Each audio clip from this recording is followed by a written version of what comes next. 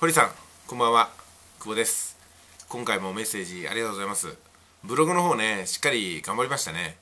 でこのブログっていうのはたくさん作ってアクセスがねなかなか伸びないなと感じるところもあると思いますけどもでもぐっと伸びてるのがあるじゃないですか。これ以前もお話したかもしれませんけどもあの例えばね100個200個ブログを作る中でアクセスが一番高いもの例えばテーマとか広告材料とかあると思うんですよタイトルとか。それと似たようなのを次の100個で作っていくと。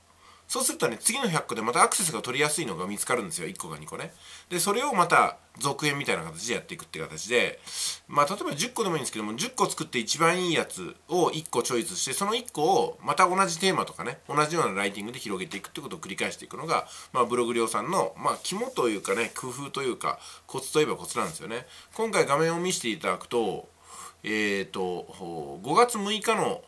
記事がアクセスが高いですよね。っていうことはその5月6日の記事のパート2とかこれに類する記事とかねこの記事のアンサーとかこの記事のまああの似たようなね形のものとかっていうのを作っていくといいですね多分これタイトルタグにかかってきてるんじゃないかなと思うんですよまあブログそのもの見てないんですけどねこうやってえー、作りながら作りながらだんだんだんだん人気のブログに育っていくってことになります。えー、まあね、一旦ブログの方はお休みされるかもしれませんけども、同じような作り方で YouTube とか他の Twitter もそうなんですよ。同じようなこのね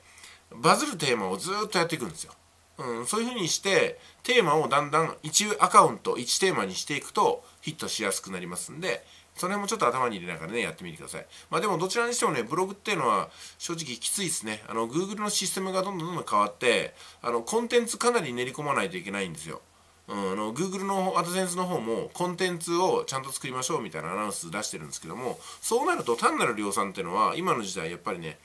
あの根性を鍛えるためのトレーニングには十分なりますけどもそれでアクセスを稼いで集客して販売をってことにはなかなかなりませんから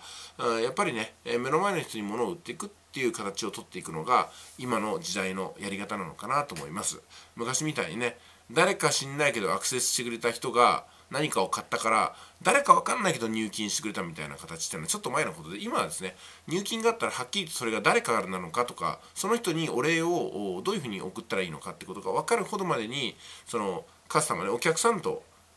ネットビジネスをしている人の関係っていうのは1対1に近いんですよ。まあ、以前は1対多数だったんですけどね今どっちかっていうと1対1ぐらいで密度の濃い